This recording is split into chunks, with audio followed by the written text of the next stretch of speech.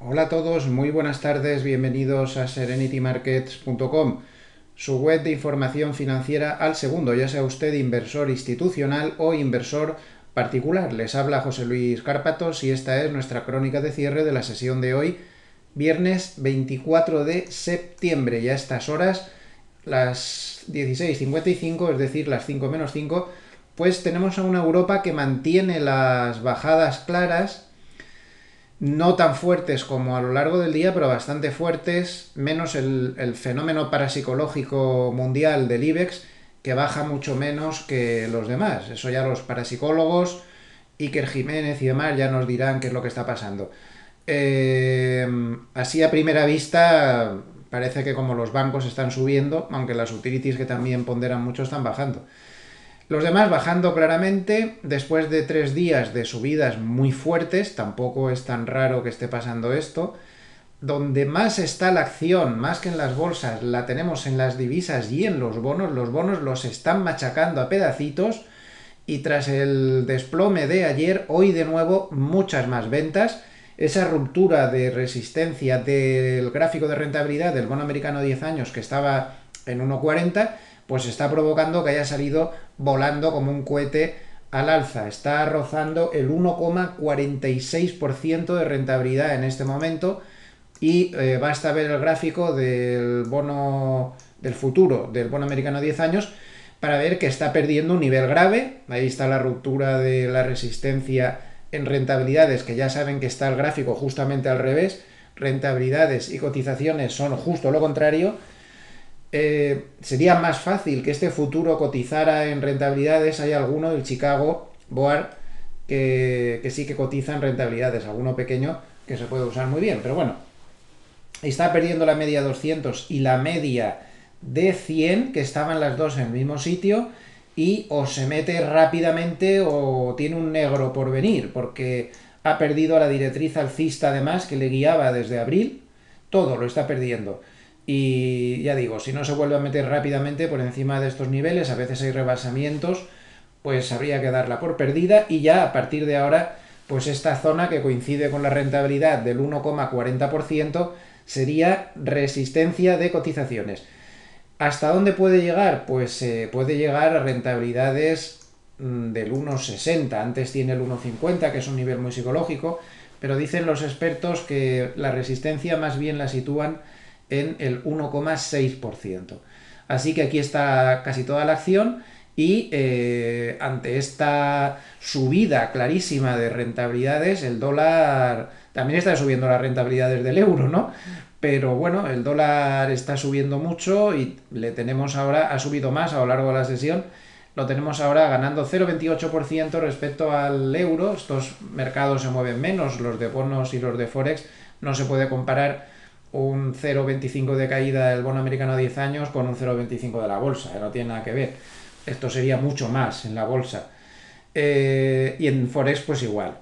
La libra sube 0,46%, ya sabe, perdón, baja 0,46%, el dólar también fuerte contra todos los... Esto, ya saben que los bonos están asustados por esa especie de, de lluvia de, de historias negativas de los bancos centrales que les ha caído durante la semana y están bajando todos a la vez el tono de dureza del Banco de Inglaterra, el tapering en Estados Unidos, la subida de tipos de interés en Noruega y esa filtración del Banco Central Europeo de que están manejando un objetivo de inflación bastante más alto del que reconocen. Todo eso mezclado, pues mm, no les está sentando bien y además al saltar esa resistencia de rentabilidades en el bono americano a 10 años, que es el bono pues hoy por hoy más importante del mundo, con muchísima diferencia respecto a los demás, pues aquí hay mucho salto de stops y todo tipo de, historias.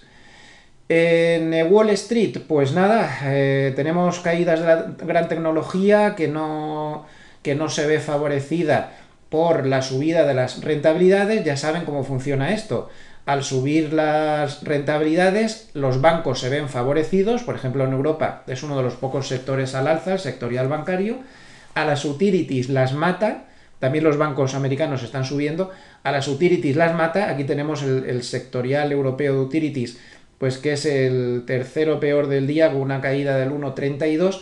Y a los valores de crecimiento también les viene mal. La subida de rentabilidades realmente solo hace subir a, a los bancos y también puede hacer subir a las materias primas. De hecho, el segundo y último sector que está subiendo es de automoción. Perdón, me he equivocado. Creía que era el de materiales básicos. Es el de automoción. Materiales básicos está bajando. No, se está beneficiando. Menos 0,66 y eso que la cesta de eh, materias primas está subiendo 0,50. Pero sí favorece al sectorial de automoción con una subida del 0,67%. Debe haber algo por ahí, alguien del sector que debe haber tenido una buena noticia. Me parece recordar que había algo de Daimler esta mañana que se había metido en, un, en una fábrica de baterías. Puede que sea por eso por lo que este sector está subiendo.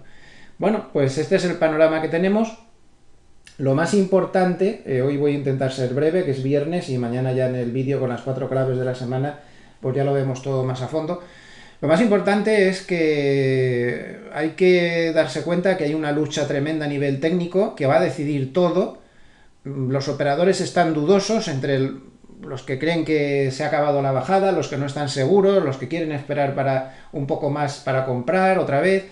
Y el que va a decidir es este nivel, esta rayita roja de aquí, que es la media de 50, un nivel que paró todas las caídas durante mucho tiempo, no nos debe extrañar que ahora mm, venda caro el, ser sobrepasado.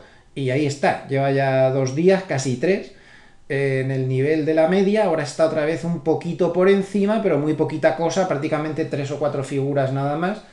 Y yo para mí creo que es vital, porque si este nivel es vencido, si vemos ya cambios por encima al cierre, ¿eh? siempre hay que esperar al cierre, que se mueva ya por encima del 4.450, eh, bueno, esto yo creo que lo dan por, por roto y aquí se van a tirar de cabeza, pero 300.000 en busca de toda esta zona de aquí o incluso más alta, eh, seguramente. Así que para mí este nivel es fundamental y al revés, si este nivel no cede, pues eh, habrá gente que ha entrado a la compra que se puede empezar a asustar y podría volver a mandarle otra vez a la media de 100. Conforme pasa el tiempo, el tiempo juega a favor de, del SP500. Si empieza a moverse menos y la volatilidad empieza a bajar, eso juega muy a favor, porque automáticamente en un mercado como este van a aparecer los, los vendedores de volatilidad en cuanto vean que empieza a calmarse un poco y vamos a empezar otra vez con ese ciclo vicioso que también describen los cuantitativos, que yo me pierdo un poco, como McElligott y Spot Gamma, eh, que al final lleva a los mercados pues, a subidas lentas y con volatilidad baja. Ahí está la lucha, de momento no se sabe. El Nasdaq se está manteniendo bien por encima de la zona de soportes, ha reconquistado también la media 50, o al menos lo está intentando, está un poco en la misma situación que el SP500. Necesitaríamos verlo por encima del 15.350 a precio de cierre para ya dar por rota esta media de 50 y empezar a verle pues que puede, eh, ¿por qué no?, intentar el asalto de los 16.000. Lo que pasa es que desde el punto de vista macroeconómico, mientras siga esa subida de rentabilidad desde los bonos, al Nasdaq le falta aire. Eh, lo tiene bastante más difícil que, los demás, como vemos a simple vista y como ya hemos comentado antes. Eh, según los datos de Bank of America de flujos de fondos, eh, se han metido a la cueva otra vez 30.500 millones de dólares a cash.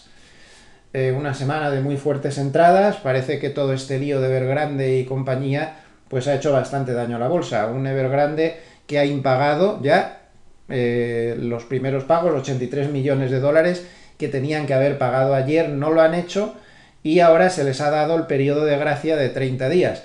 Es decir, que si el 23 de octubre, mm, el 23 del mes que viene, no han pagado esos cupones, ya automáticamente entran en default y ya se va a liar parda.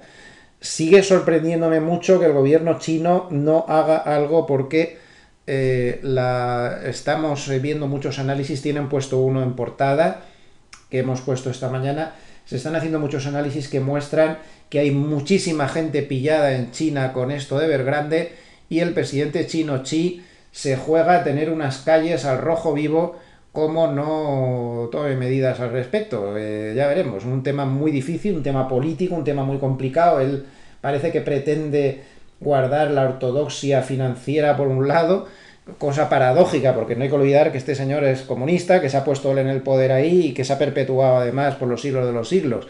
Pero bueno, eh, en ese aspecto pues eh, parece que quiere guardar la ortodoxia eh, financiera de quien la hace la paga, pero por otro lado mm, lo tiene difícil porque hay pillada muchísima gente con Evergrande. Hoy Fitch ha recordado que la banca mediana de China podría estar medio colapsar o colapsar del todo como Evergrande caiga. Veremos qué novedades hay al respecto. Eh, tenemos al oro subiendo 0,22 y al petróleo que sigue fuerte. El dato de inventarios de esta semana le sentó bien con ganancias de 0,44%. Les veo en el vídeo de cierre de Wall Street. Nivel clave, media de 50. Si se aleja, ya verán qué rápido entra el dinero, como se la coma, pues pasará lo contrario, habrá cierres de cortos. Un nivel absolutamente clave. ¿Y qué va a pasar? Pues no tengo ni la menor idea. Yo creo que estamos todos igual esperando a que el de enfrente dispare primero, para arriba, para abajo, para tomar la decisión. Muchas gracias y hasta luego.